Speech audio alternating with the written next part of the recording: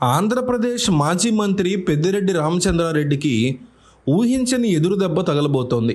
పెద్దిరెడ్డి రామచంద్రారెడ్డిని అనర్హుడిగా ప్రకటించాలని దాఖలైన పిటిషన్ మీద హైకోర్టులో విచారణ జరిగింది. ఇదే విషయం మీద గత అసెంబ్లీ ఎన్నికల్లో పొంగనూరులో పోటీ చేసిన అభ్యర్థులందరికీ నోటీసులు జారీ చేయాలని గతంలోనే హైకోర్టు ఆదేశాలు ఇచ్చింది పెద్దిరెడ్డి రామచంద్రారెడ్డిని అనర్హుడిగా ప్రకటించాలని దాఖలైన పిటిషన్ మీద విచారణ కొనసాగించిన హైకోర్టు కౌంటర్ దాఖలు చేయాలని పొంగనూరు అసెంబ్లీ నియోజకవర్గంలో పోటీ చేసిన అభ్యర్థులందరికీ ఆదేశాలు జారీ చేసింది. గత వైసీపీ ప్రభుత్వంలో పెద్దిరెడ్డి రామచంద్రారెడ్డి నెంబర్ టూ పొజిషన్లో ఉన్న విషయం అందరికీ తెలిసిందే. ఉమ్మడి చిత్తూరు జిల్లాతో పాటు వైసీపీలో తనకంటూ ఎదురు లేకుండా పెద్దిరెడ్డి రామచంద్రారెడ్డి చక్రం తిప్పారు. వైఎస్ జగన్ సీఎంగా ఉన్నంతకాలం పెద్దిరెడ్డి రామచంద్రారెడ్డి కూడా మంత్రి పదవిలో కొనసాగారు. గత అసెంబ్లీ ఎన్నికల సమయంలో పెద్దిరెడ్డి రామచంద్రారెడ్డి ఆయన భార్యకు సంబంధించిన నూట నలభై ఐదు ఆస్తుల వివరాలని ఎన్నికల కమిషన్ అధికారులకి సమాచారం ఇవ్వలేదు అనే ఆరోపణలు స్పష్టంగా ఉన్నాయి. ఇదే విషయం మీద పెద్దిరెడ్డి రామచంద్రారెడ్డి మీద ఆంధ్రప్రదేశ్ హైకోర్టులో పిటిషన్ కూడా దాఖలైంది. పిటిషన్ విచారణ చేసిన హైకోర్టు పొంగనూరులో పోటీ చేసిన అభ్యర్థులందరికీ కౌంటర్ దాఖలు చేయాలని ఆదేశాలు ఇచ్చింది. పెద్దిరెడ్డి రామచంద్రారెడ్డిని ఎందుకు అనర్హుడుగా ప్రకటించకూడదో చెప్పాలని పొంగనూరు అసెంబ్లీ నియోజకవర్గంలో పోటీ చేసిన అభ్యర్థులందరికీ హైకోర్టు ఆదేశాలు జారీ చేసింది. పెద్దిరెడ్డి రామచంద్రారెడ్డిని అనర్హుడుగా ప్రకటించాలని గత అసెంబ్లీ ఎన్నికల్లో పొంగనూరులో పోటీ చేసిన బోడే రామచంద్ర హైకోర్టులో పిటిషన్ దాఖలు చేశారు. అసెంబ్లీ ఎన్నికల్లో పోటీ చేసిన పెద్దిరెడ్డి రామచంద్రారెడ్డి కేవలం ఆరు వేల మెజారిటీతో ఎమ్మెల్యేగా విజయం సాధించారు. ఉమ్మడి చిత్తూరు జిల్లాలో పొంగనూరులో పెద్దిరెడ్డి రామచంద్రారెడ్డి తమ్మళ్ళపల్లి నియోజకవర్గంలో పెద్దిరెడ్డి ద్వారకానాథ్ రెడ్డి వైసీపీ ఎమ్మెల్యేలుగా విజయం సాధించారు. పొంగనూరు ఎమ్మెల్యే రామచంద్రారెడ్డి ఎన్నికల కమిషన్తో పాటు ప్రజల్ని ప్రభుత్వాన్ని మోసం చేశారని ఆరోపిస్తూ ఆంధ్రప్రదేశ్ హైకోర్టులో పిటిషన్ దాఖలైంది. పెద్దిరెడ్డి రామచంద్రారెడ్డిని అనర్హుడిగా ప్రకటించాలని ఆ నియోజకవర్గంలో పోటీ చేసిన నాయకులు కోర్టుకు మనవి చేశారు.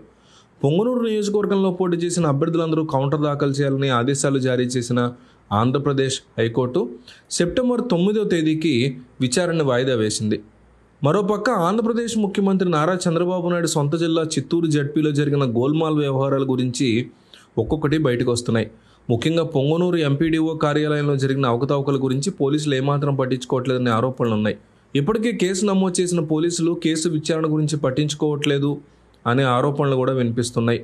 కేసు దర్యాప్తు సీరుగార్చేందుకు కొందరు పోలీసులే ప్రయత్నిస్తున్నారని ప్రజల సొమ్ము జడ్పీ నిధులు తినేసిన వారి మీద చర్యలు తీసుకోవట్లేదని కేసు దర్యాప్తు మాత్రం ముందుకు సాగట్లేదని ఆరోపణలు ఉన్నాయి పొంగనూరు మండల పరిషత్ కార్యాలయంలో సాధారణ నిధుల్ని కొందరు అధికారులు మింగేశారు. ఎంపీడీఓ కార్యాలయంలో సుమారు ఒకటి పాయింట్ మూడు సున్నా కోట్ల దుర్వినియోగానికి పాల్పడ్డారని పోలీసుల దర్యాప్తులో వెలుగు చూసింది. పొంగనూరు ఎంపీడీఓ కార్యాలయంలో పనిచేస్తున్న ముగ్గురు అధికారుల మీద ఇప్పటికే వేటు పడింది. పొంగనూరు ఎంపీడీఓకి సంబంధించినటువంటి ప్రస్తుత ఏవో రాజేశ్వరి సీనియర్ ఉద్యోగి రాజశేఖర్ రెడ్డి పొంగనూరు ఎంపీడీఓ కార్యాలయంలో డేటా ఎంట్రీ ఆపరేటర్గా పనిచేస్తున్న సునీల్ని ఇప్పటికే సస్పెండ్ చేశారు. మరో అధికారి నారాయణ తాత్కాలికంగా తొలగించారు. రాష్ట్ర స్థాయి అధికారుల ఆదేశాలతో నారాయణ మీద చర్యలు తీసుకుంటున్నారు. జిల్లా రాష్ట్ర స్థాయి అధికారుల అండతోనే పొంగనూరు ఎంపీడీఓ కార్యాలయం సిబ్బంది నిధులు స్వాహా చేశారనే ఆరోపణలు ఉన్నాయి మేమంతా పెద్దిరెడ్డి రామచంద్రారెడ్డి మనుషులు. అంటూ పై అధికారులకు చెప్పిన పొంగనూరు ఎంపీడీఓ కార్యాలయం సిబ్బంది తర్వాత రాష్ట్ర స్థాయి అధికారులను బెదిరించి ఇష్టానుసారంగా నిధులు స్వాహా చేశారనే ఆరోపణలు ఉన్నాయి ప్రజల సొమ్ము నొక్కేసిన ఉద్యోగుల మీద పోలీసులు ఎందుకు చర్యలు తీసుకోలేదు?